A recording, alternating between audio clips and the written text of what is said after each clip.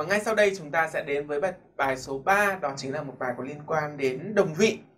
Chúng ta chú ý nhé, đồng vị nhé.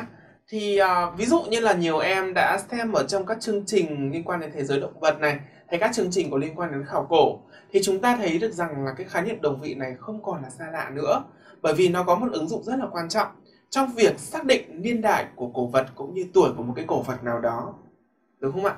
Ví dụ như là để xác định xem là uh, một cái bộ xương khủng long nó đã tồn tại ở những thập kỷ như thế nào những thế kỷ ra sao ở kỷ Jura hay là kỷ phấn trắng hay như thế nào đó thì chắc chắn một điều rằng người ta sẽ phải sử dụng một cái phương pháp đó chính là đánh giá các đồng vị để chúng ta xem xem là uh, cái thời gian tồn tại của đồng vị đó như thế nào đúng không nhỉ?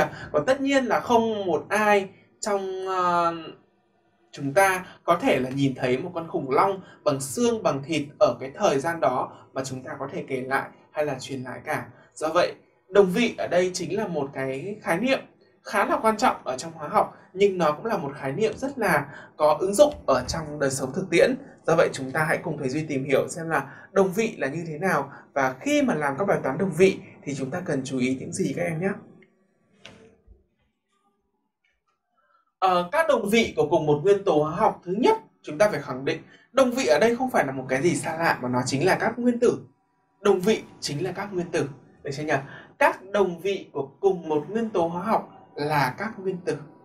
Được chưa các đồng vị của cùng một nguyên tố hóa học là các nguyên tử.